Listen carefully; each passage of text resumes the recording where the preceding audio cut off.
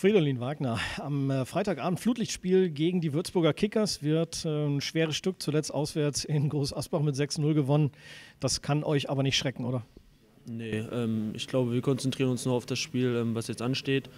Ähm, natürlich wissen wir ähm, um die Stärken von Würzburg, aber ich denke, ähm, ja, wir sind ähm, defensiv stabiler geworden und nach vorne sind wir immer gefährlich und von daher werden wir alles in die Waagschale werfen und ich denke, dann wird es dann wird es positiv. Ähm, Magdeburg, letztes Heimspiel, ähm, welches unter Flutlicht war, konnten wir auch für uns entscheiden und ich hoffe, da können wir einfach anknüpfen. Jetzt bist du ja wieder dabei. Ähm, äh, Trainer sagt, ihr fühlt euch im Moment so mit dieser Dreier-Fünfer-Kette hinten wohler. Ist das auch dein Eindruck? Ja, also ähm, ich denke, gegen Kaiserslautern war es defensiv ähm, auf jeden Fall ähm, eine ordentliche Leistung. Ähm, gegen Jena hatten wir ähm, auch denke ich, nicht so viele Chancen zugelassen. Ähm, und von daher ist die Fünferkette aktuell auf jeden Fall ähm, eine Variante, die uns Sicherheit, glaube ich, gibt. Jetzt habt ihr zuletzt in Kaiserslautern 1 zu 1 gespielt. Das Spiel wurde hinterher noch so ein bisschen, sagen wir mal, verwässert, weil ja die Konkurrenz gewonnen hat. Jetzt sind es dann doch wieder sieben Punkte.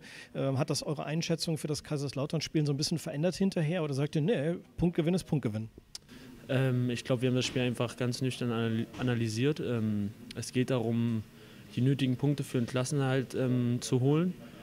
Und ähm, am Ende kommt es darauf an, dass wir am Ende über den Strich stehen. Ähm, und von daher sollten wir uns auf uns konzentrieren. Ähm, mehr können wir eh nicht machen. Wir müssen uns auf uns konzentrieren. Und wenn wir unsere Aufgaben machen, unsere Punkte holen und in die Spur kommen, dann können wir es auch, haben wir es noch in der eigenen Hand, sage ich.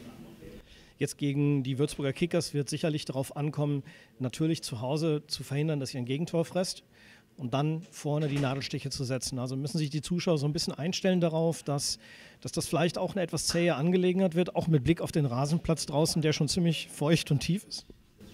Ähm, ja, das kann passieren. Ähm, ich glaube, wir sind im Moment gut beratet, ähm, einfach alles dem Ergebnis unterzuordnen. Und ähm, jetzt kommt es auf Ergebnisse an und von daher ähm, werden wir das ähm, tun, was für den Sieg erforderlich ist. Und ähm, einen Schönheitspreis werden wir höchstwahrscheinlich nicht gewinnen, aber ähm, das muss man dann auch mal in Kauf nehmen, wenn man die Punkte holen will. Das heißt also auch die Bitte ans Publikum, das Ding mitzuziehen und eben nicht nervös zu werden, wenn nach 40 Minuten erst eine Torschuss auf dem Plan steht.